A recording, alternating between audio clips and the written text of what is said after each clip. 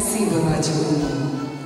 Mari dukung kepahyang yang berdaya saing untuk TPPS kita yang semakin maju. Dimohon berdiri.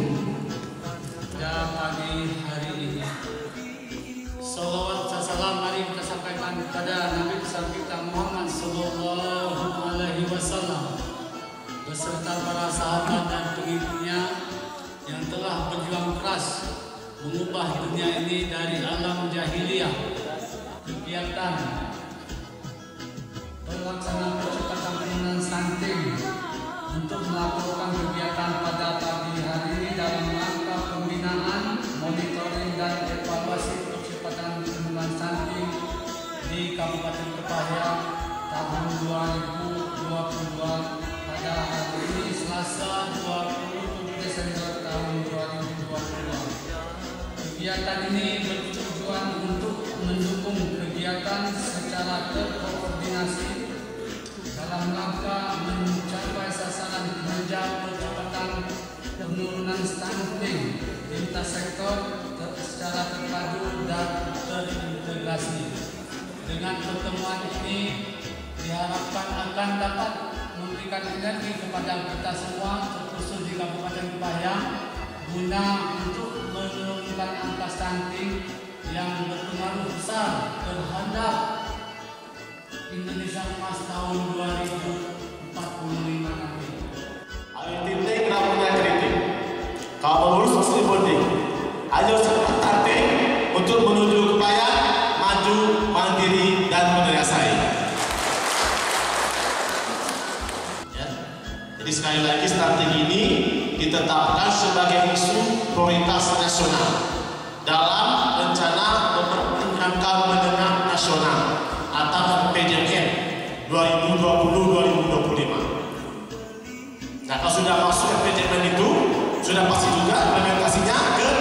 RPJMD Kabupaten Kota, RPJMD Provinsi.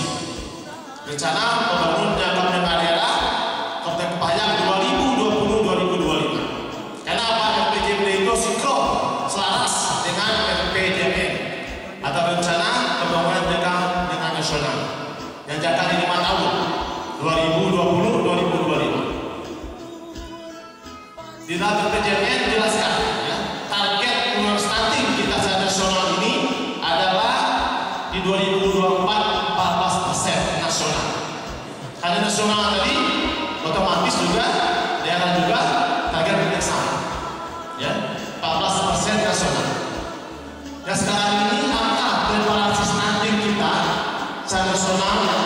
sesuai dengan studi status gizi Indonesia atau SSGI itu 24,4 persen. Ini masih cukup tinggi, ya. 24,4 persen. Berarti 100 bayi, ya, 24 itu stunting. Jadi bukan hal yang gampang, ya.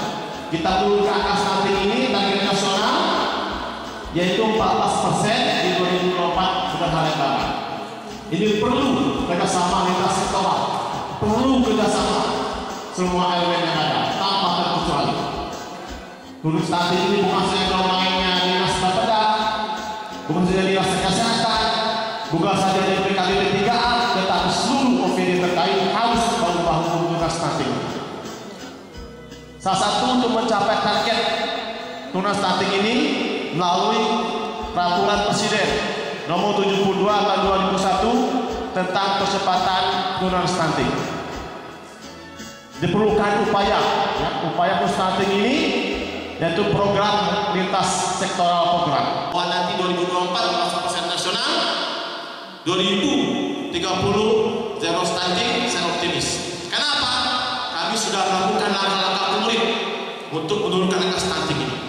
Salah satunya Kepahyang sudah melakukan yang namanya rapat aksi intervensi integrasi penurunan stunting yang kita bahas hari ini. Ya, punya aksi ya. Aksi menuju Kepahyang bebas stunting 2030. Ya. Jadi Kepahyang mempunyai aksi untuk menuju Kepahyang bebas stunting 2030. Apa aksi kami? Jawaban kami kita ada. Nah, kita alam. Kita alam ini Ibrahim dalam rangka pendampingan pelaksanaan pembinaan monitoring dari polasi P2S oleh tim percepatan konstatik P2S sekaligus evaluasi penempatan Esimil dan juga Form kasus nanti kita kepayan tahun 2022 saya buka resmi dan terbuka untuk terima kasih perhatiannya. Saya dengan Nasrullah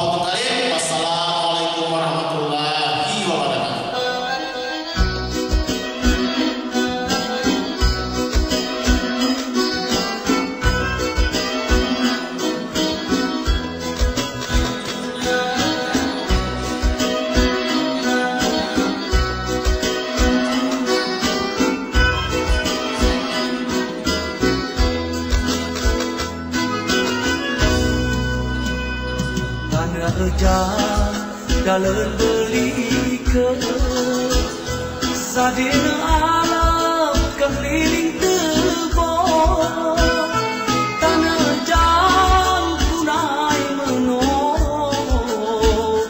kunai muni sapi bau.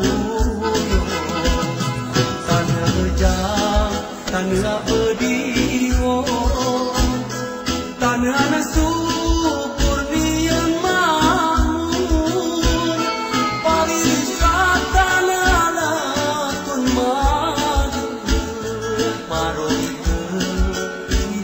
Sun.